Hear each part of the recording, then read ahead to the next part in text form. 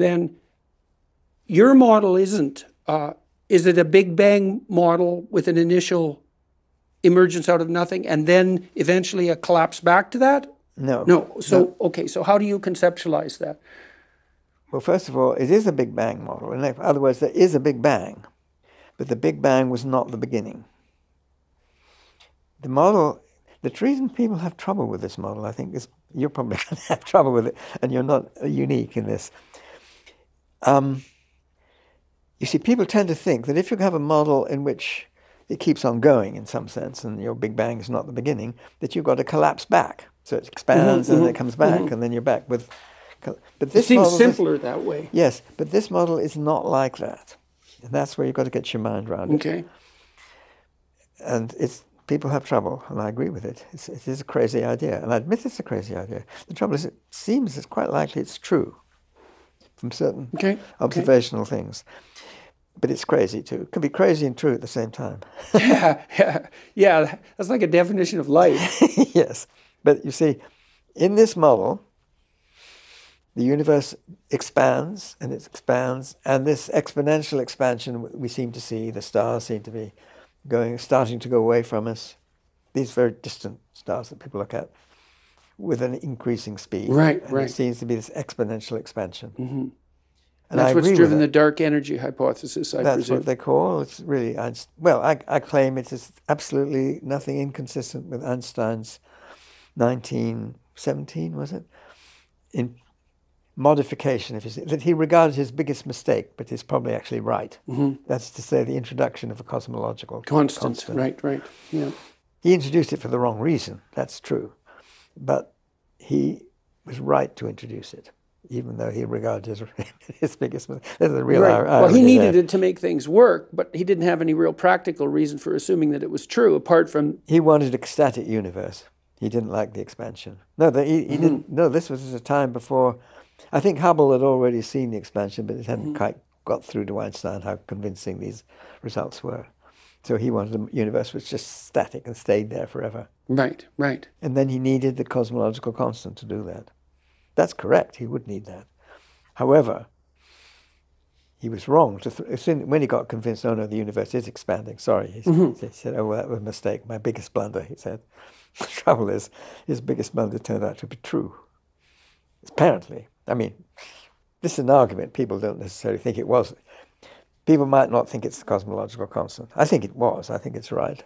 I have reason, you know, internal reasons for that.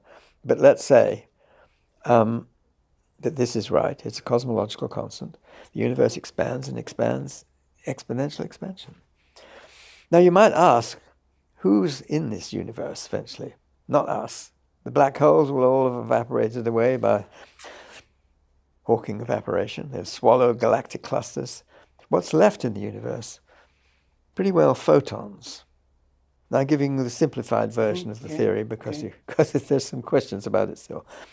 But let's say it's dominated by photons, which is pretty pretty well true, but not. Let's take that. Okay.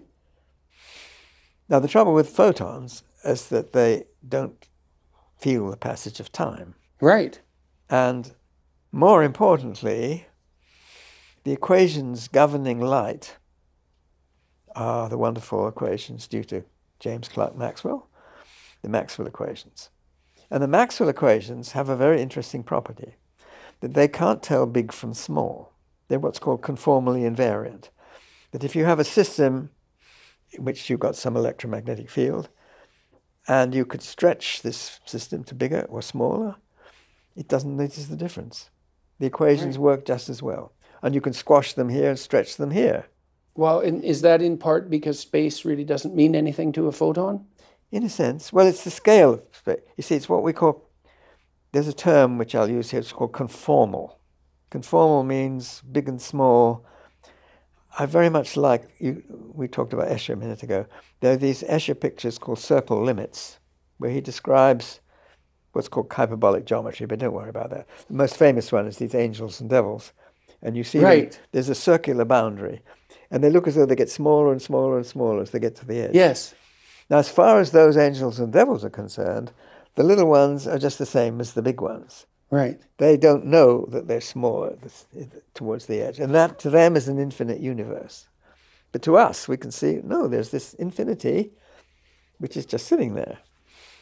And these angels and devils, if they don't know big from small, I'm not sure, I have a bit of trouble using this to explain things because they, the angels and devils do have a size in the picture. But you see, if they were made of massless material, that wouldn't know big from small. So if they were made of just electromagnetism, then big and small are equivalent. And so you wouldn't know when you got to the edge of this universe. So that infinity is just like anywhere else. That's the difficult concept in this thing. That the photons reach infinity without realizing without realizing anything funny has happened, if you put it like that. Infinity in this conformal picture is just like anywhere else. It's only mass that knows the difference. If you want to build a clock, you need mass. And the, this comes from the, the two most famous equations of 20th century physics. And the two most famous equations, one of them is Einstein's E equals mc squared, of course, which tells us that energy and mass are equivalent. And the earlier one was it was um, Max Planck's E equals h nu or E equals hf, whatever like you call the frequency, which tells you that energy and frequency are equivalent.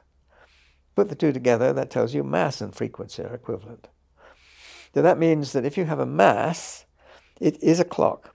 It has a frequency simply determined by its mass. And this fact is really the basis of modern clocks, which are extraordinarily precise.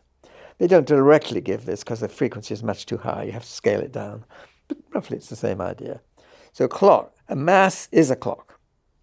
But the other side of that coin is if you don't have any mass, you don't have any clocks.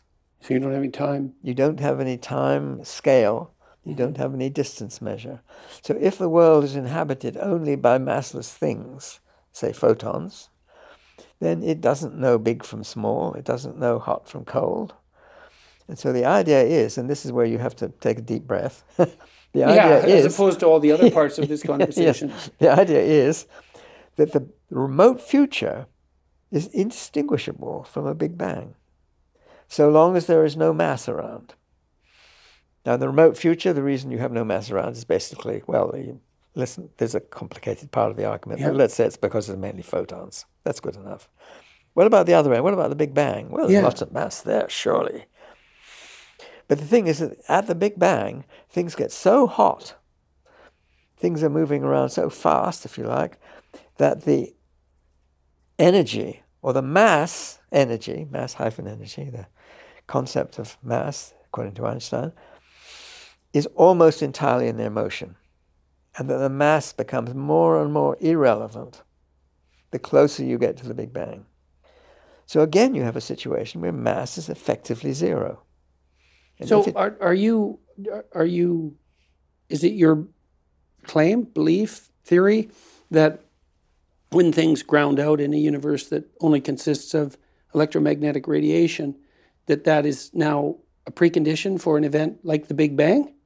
In a sense, yes. I'm saying that the physics which is going on at the very remote future is extraordinarily like the physics going on at the very beginning. I'm, I'm going to end of the. there. When I say beginning, I only mean the Big Bang because it's not really the beginning. Yes, yes.